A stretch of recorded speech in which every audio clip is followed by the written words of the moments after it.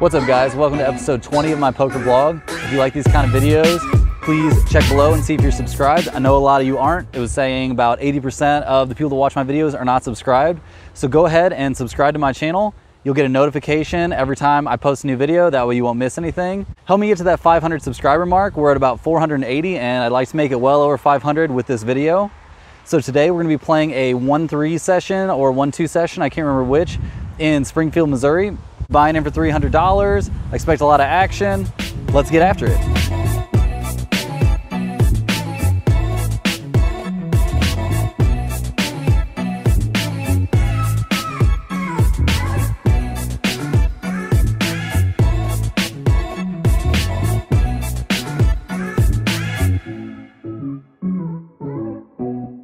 So, first hand we're gonna jump into is the best hand ever created. I've got pocket aces from the button.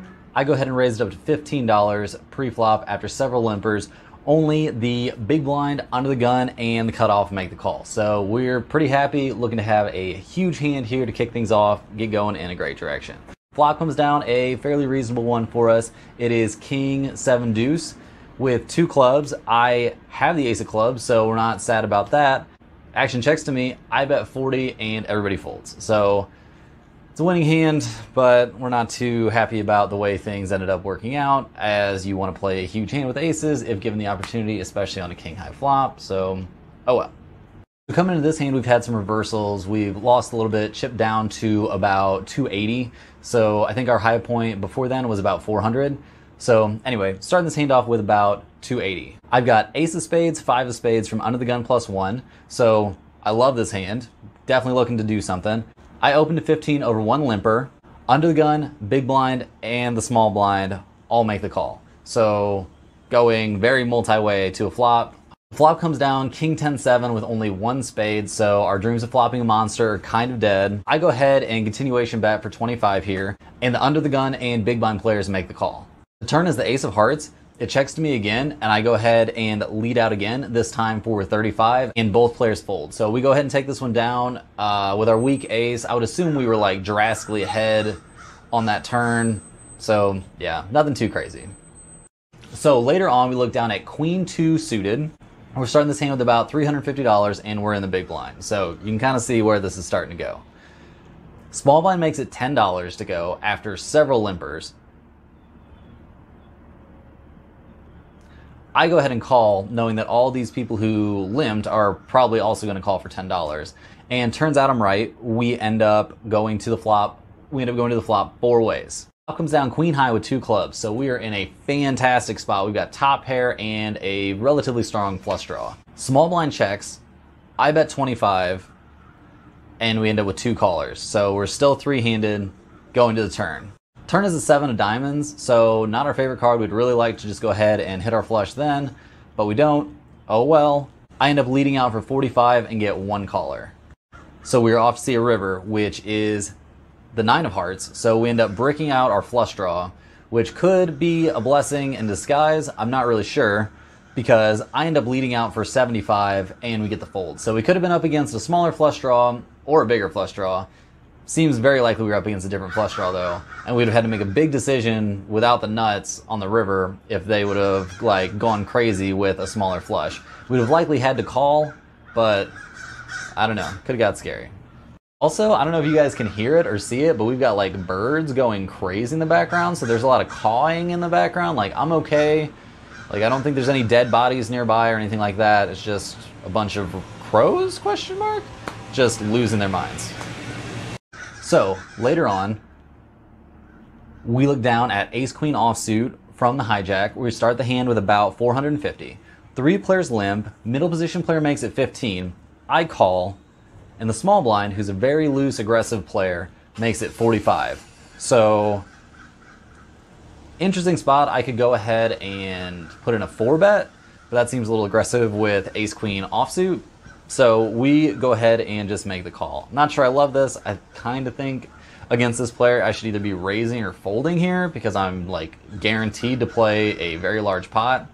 Heads up to a flop that comes down king 7-7, so a relatively dry flop, and action checks through, which is kind of, you would think kind of weird. You would think he would want a continuation bet here. Most of the, a lot of the hands that he's going to three bet, but he doesn't. So Okay, we will take free card. Free card is a jack, so we turn a we turn the nut straight draw, which is something, not nothing, but not a whole lot. The uh, crazy player in the small blind makes it 55, and I call. I think this is bad again. I think I either need to raise or fold. Uh, not good. I don't think it's good. River peels off a queen, so we're very happy about that. We now have a pair. Don't really know how comfortable we should be feeling with this second pair on this paired board, even though we got second pair top kicker, even though we're against a crazy person. The small blind goes all in for his last $61, and we've got a decision on our hands.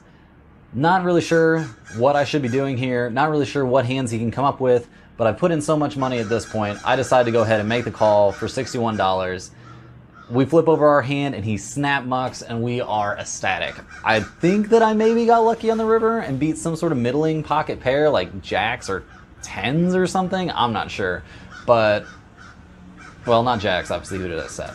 But we take it down and we're starting to build a stack.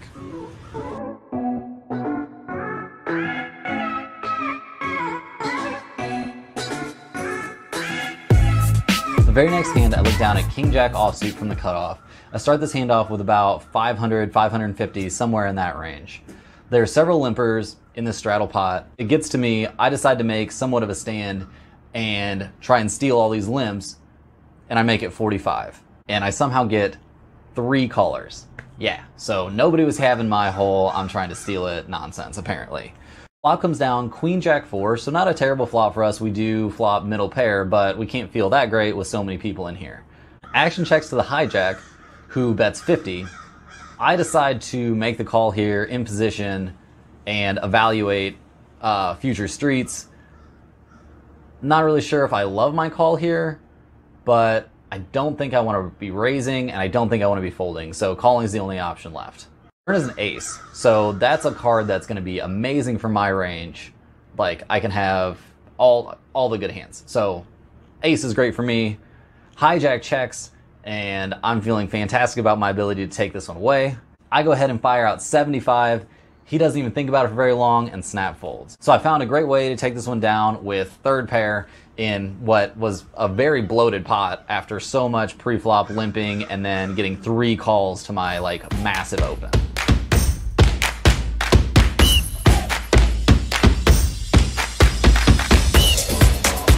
Well, we needed a winning session and thank God we got one. In for 300, out for, I think it was 585. Yeah, that should be right. Out for 585. Another win in the books. Played pretty well. We'll go ahead and take it. Stay tuned to the channel. Check below and make sure you're subscribed. We're gonna have lots of videos coming out, going for two videos a week. Been playing a lot, so I will see you guys soon. Have a good one. Don't forget, like and subscribe. Comment below what you thought on my play. If you have any questions or concerns, I'm more than happy to get back to you. Just like Brad Owen always says. See you guys next time.